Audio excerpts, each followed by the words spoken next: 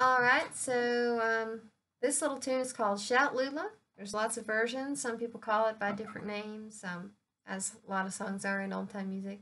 Um, but there's a couple of words, uh, and I'll put those toward the end. But um, it's real easy. You just need your A chord and your D chord. And then um, all the parts are the same. So it's just repeat this little um, little tune here. So it's.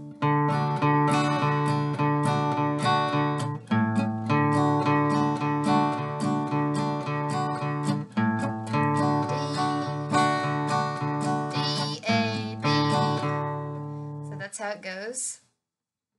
And the words go like this.